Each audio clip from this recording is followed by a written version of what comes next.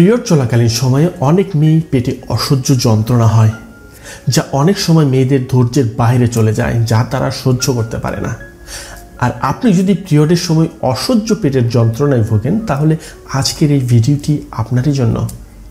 পিরিয়ডের সময় কেন পেটে ব্যথা হয়? ব্যথা হলে কি করবেন? পিরিয়ড সম্পর্কিত এই সমস্ত বিষয় জানাব আজকের এই ভিডিওতেই। তাই বিস্তারিত জানতে ভিডিওটি না টেনে শেষ পর্যন্ত দেখতে থাকুন। Doctor's Tips, Solution for Life Problems.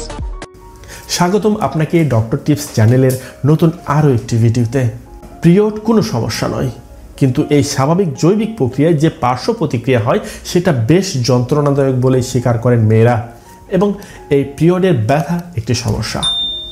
অধিকাংশ মেয়েরাই পিরিয়ড চলাকালীন পেটের যন্ত্রণায় ভোগেন, এমনকি শুরুর দুই তিন দিন আগে থেকেই শুরু হয় এই যন্ত্রণা। কিন্তু এটা যদি মাত্রা অতিরিক্ত হয়, সেক্ষেত্রে অ্যান্ড্রোম্যাট্রিসিস রোগের লক্ষণ হতে পারে। আপনি জানেন কি অ্যান্ড্রোম্যাট্রিসিস কি? ঋতুমতি হওয়ার পর শরীরে নানা হরমোনের গঠনগত পরিবর্তনের ফলে ইউরিটাসেও পরিবর্তন হয়। ইউরিটাসের মধ্যে অ্যান্ড্রোম্যাট্রিয়াম নামক একটি টিস্যু থাকে।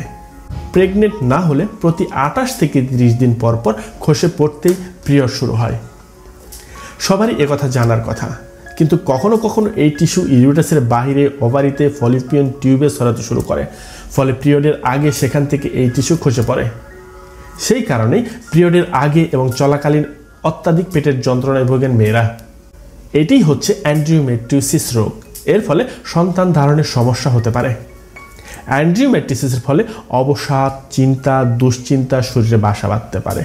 অ্যান্ড্রিওম্যাট্রিসিসের ফলে বেশিরভাগ ক্ষেত্রে অবসাদগ্রস্ত হয়ে পড়ার সম্ভাবনা দিন দিন বাড়ছে। এক্ষেত্রে প্রিয়জনদেরই সাহায্যের হাত বাড়িয়ে দিতে হবে। সঠিক ডায়েট মেনটেন করে একটু এক্সারসাইজও করতে পারেন এই সময়। এছাড়া নিয়মিত মেডিটেশনের সাহায্য নেওয়ার পরামর্শও দিচ্ছেন বিশেষজ্ঞরা। এর পরেও মাসিক স্থিতি না এলে কাউন্সিলিং করানোরও প্রয়োজনীয়তা বলছেন তারা। অ্যান্ড্রিওমেট্রিওসিসের চিকিৎসা। রোগ নির্ণয় করা গেলেও এর সঠিক চিকিৎসা পন্থা এখনও সুনির্দিষ্ট করে জানাতে পারছেন না ডাক্তাররা। যন্ত্রণা মারাত্মক হলে ডাক্তারের পরামর্শ নিয়ে ঔষধ খাওয়া যেতে পারে। সার্জারির পরামর্শও দেন কখনো কখনো। তাছাড়া ল্যাপাস্ক্রোপিও কথা উল্লেখ করেছেন তারা। ভিডিওটি ভালো লাগলে একটি লাইক দিন। কারণ যত বেশি লাইক দেবেন, তত বেশি মানুষের কাছে আমাদের তথ্যগুলি পৌঁছে যাবে।